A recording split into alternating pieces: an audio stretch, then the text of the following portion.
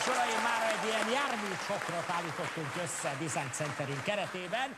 Most következik egy kalocsai pingáló asszony, aki robog, ha nem robog, akkor bőrruhát ölt és nagy mocira ül, de most az ő híres robogóját látjuk. Fogadják szeretettel a kalocsai pingáló motorost, Szabó Évát!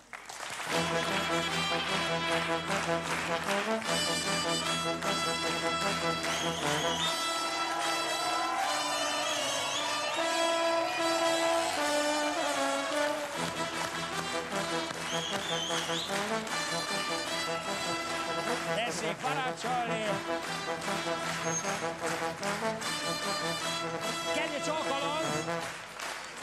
Kennyi csókolom, köszönöm szépen! Puszi! Hát szívből gratulálunk a bejövetel, az ordátus, a festés, ez minden csodálatos.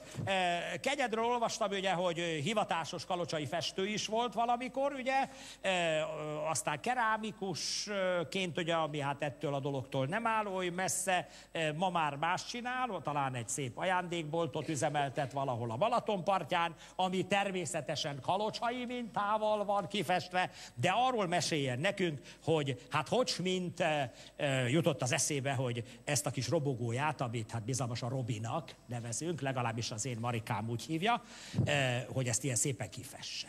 Folklor motor, egyszerűen. Folklór motor. Na jó, de hát azért ezt meg kellett álmodni. Hát az, hogy ö, csinálunk tányért, csinálunk kanalat, csinálunk köcsögöt, ö, csinálunk csodálatos ruhát. Jaj. E, olyan rosszak, olyan rosszak ezek. Amit nem mutatnak, azt egy idő után elfelejtik. És ezt már megsokaltam. És Na már, hogy a kalocsai népművészet elemeit? így van. Tehát azt gondolta, hogy ezzel az erős effektussal a már-már feledésbe menő kalocsai népművészetet ismét az érdeklődés homlokterébe tudja hozni.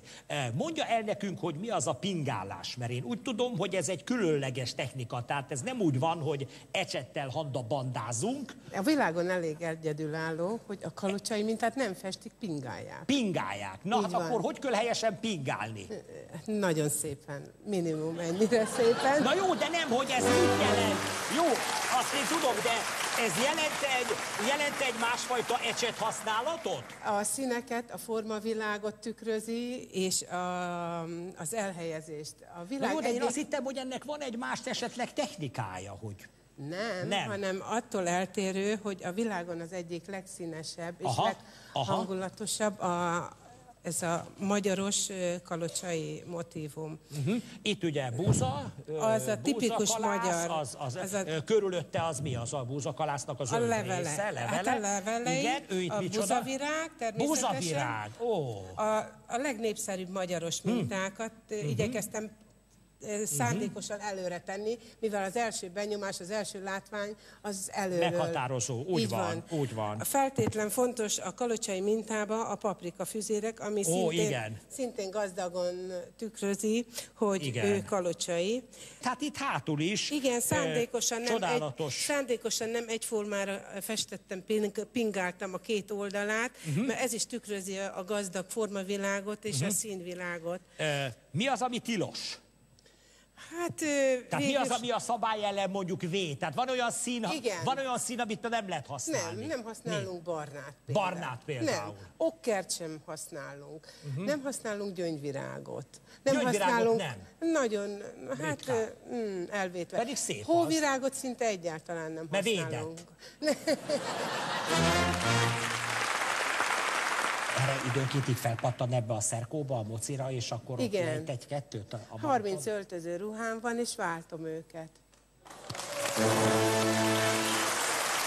És meg szabad kérdeznem, azért ez, a 30 ruha, ez nem, nem saját készítés, azért az túl sok volna. Ezt, ezt édesanyám készítette. Édesanyja. Igen, ő, amikor esküdtünk, ez volt a táncoltatási ruhám. Éjfélkor ez a menyecske ruha, amikor váltani kell a fehér ruháról át színesre. És nekem ez volt a, a menyecske ruhám, amit édesanyám készített. Hát ez gyönyörű. Ez gyönyörű, ez gyönyörű.